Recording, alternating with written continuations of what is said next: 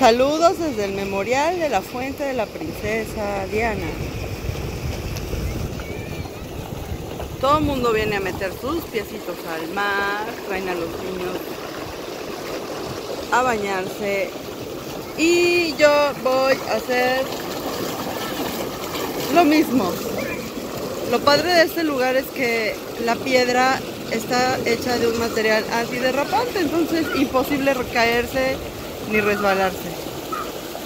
Saludos.